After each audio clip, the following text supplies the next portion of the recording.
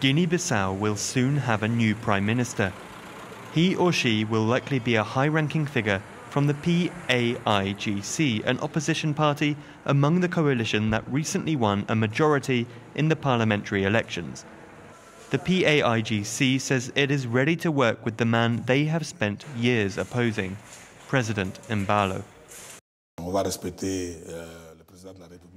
We will respect the president as the head of state. I think he also will respect the coalition. The president is here, we must respect him. But he should not get involved in the business of the new government. As for Madem G15, the party of President Embalo, they say they still have faith in their leader despite a historic election defeat. The president is not here to defend our party or our party's project. He's here to defend the national interest. For that reason, it truly cannot be said that there will be big divisions between him and the new majority party.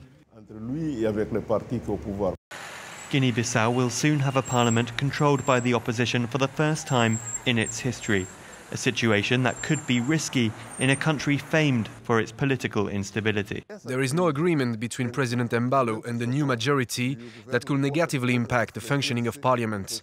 If that happens, parliament will fall into crisis and the president will have justification to dissolve it and organize an early election.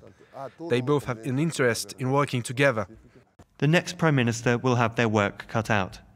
Guinea-Bissau is one of the world's poorest countries the electorate is yearning not just for economic development, but also for improved public services and the upholding of the rule of law.